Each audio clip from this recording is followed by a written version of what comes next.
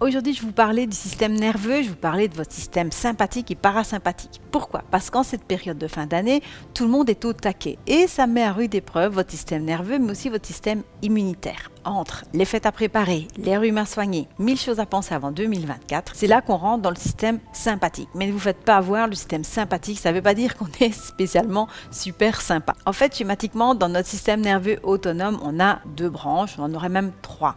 Deux branches principales qui sont le système système sympathique et le système parasympathique. Ils gèrent de manière tout à fait autonome ton système nerveux et ce sont eux qui commandent la respiration, le rythme cardiaque. Le système nerveux sympathique, c'est celui qui aura tendance à avoir notre sympathie justement, mais c'est celui qui nous met dans un état de fight, de combat, de fuite. Alors il est très chouette, il nous donne du punch quand on en a besoin, il nous permet de survivre dans des moments difficiles. Dans la vie ou dans le sport, quand on a besoin d'un coup de pouce, c'est lui qui est là pour répondre. Et là vraiment, il va être vraiment sympa avec nous. Mais parfois il peut s'emballer à cause du stress, de trop de stimuli, à cause de peur, d'accumulation de tâches comme on a par exemple pour le moment aussi. L'autre système, c'est le parasympathique. Il va nous calmer, nous mettre dans un état plus posé, mais parfois, il peut aussi nous mettre dans un état un petit peu de shutdown. En fait, on a juste envie d'être tous, tout le temps, dans un système un peu entre les deux. C'est une branche du parasympathique, mais qui nous fait vraiment vivre notre vie avec assez d'énergie, mais sans trop de stress non plus. Et le problème de l'heure actuelle, maintenant préparatif de fête, du système sympathique qui est très stimulé, c'est qu'il va faire augmenter notre rythme cardiaque, notre pression artérielle, il va faire augmenter le cortisol, qui est aussi l'hormone du stress. On va peut-être moins bien respirer, on va avoir un système nerveux qui est chamboulé. Mais pas que le système nerveux, le système digestif et le système immunitaire également.